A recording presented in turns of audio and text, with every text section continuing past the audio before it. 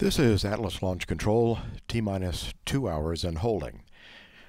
We're now just under two hour and a half, two and a half hours away from the launch of the Maven spacecraft aboard an Atlas V rocket from Launch Complex 41 at Cape Canaveral. With the launch today, Maven will arrive at Mars on September 22, 2014. It will be the first spacecraft ever to make direct measurements of the Martian atmosphere to help understand the dramatic climate change over the red planet's history.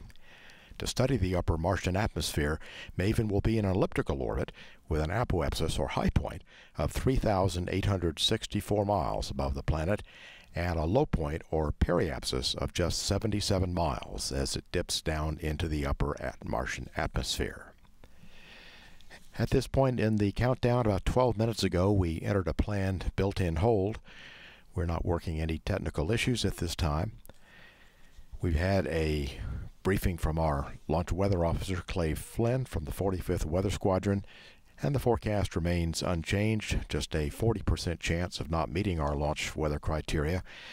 At launch time, the temperature will be 79 degrees to 80 degrees, with scattered clouds, southeasterly winds 10 to 15 knots, and just a chance of an isolated rain shower.